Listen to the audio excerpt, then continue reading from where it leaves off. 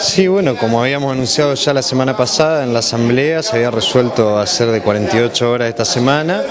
principalmente frente a la falta de respuesta que ha habido en relación a la firma concreta de los pases a planta permanente y las recategorizaciones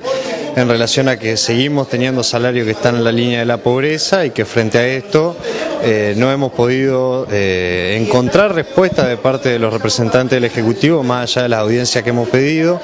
Eh, decidimos, digamos, la semana pasada no hacer eh, mayores medidas porque bueno, estaba el proceso eleccionario, ahora ya ha concluido eso eh, y esperamos bueno, seguir digamos este proceso que esperamos que de una vez por todas el gobernador firme los decretos que tiene que firmar y de parte de la autoridad de salud se convoque para realmente avanzar en las problemáticas generales y a la vez en cuestiones concretas que se han quedado pendientes de las paritarias que han sido firmadas y el Estado no ha cumplido, así como de conciliaciones obligatorias que hemos tenido los trabajadores del Hospital San Martín y tampoco han cumplido en avanzar, como el arreglo de los ascensores, como el arreglo de diferentes servicios que tienen, digamos, falencias muy importantes y que, bueno, frente a esto los compañeros han, decidido esta semana mantener las asambleas. Mañana ya está anunciado, está comunicado al Ministerio de Trabajo y en este momento se está discutiendo la modalidad y ver viendo, o sea, ir viendo situaciones que, es decir, como decíamos, el ascensor, situaciones en las que no se le está otorgando la ropa a los compañeros, digo, cuestiones puntuales que tienen que ver con problemáticas internas del hospital mientras seguimos haciendo el reclamo a que el Ministerio y el Poder Ejecutivo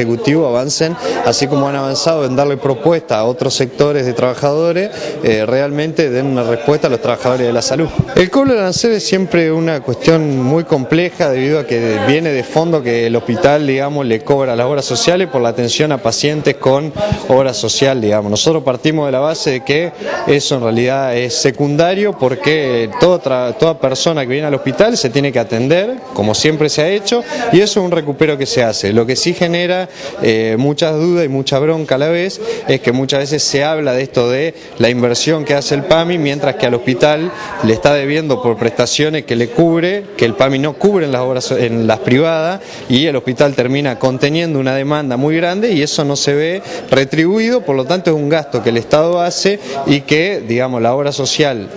PAMI, la obra social IOSPER y las obras sociales privadas no le devuelven al Estado al hospital.